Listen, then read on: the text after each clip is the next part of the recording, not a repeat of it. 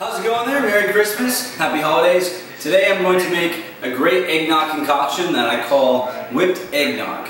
What you're going to need is some Pinnacle vodka, some awesome eggnog, and of course some ice, a mixing tin, a mixing glass, and a glass of drink off.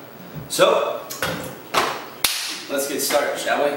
First, we have the Pinnacle vodka. What I like to do is add uh, about an ounce and a half, or as much as you want. Alright. And then we'll add the eggnog. Uh, you can add about, I don't know, that much. and some ice. Man, it's getting messy. If it ain't messy, it ain't good. That's what I would say. And then my favorite part, shake vigorously.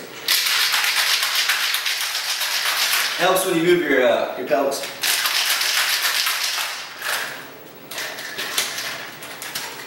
Alright.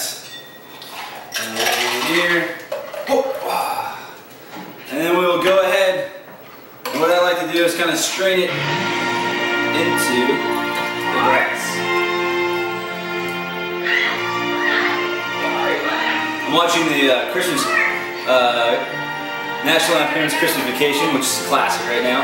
Today is Christmas, so uh, happy holidays and have yourself a merry new year. And I'll see you later.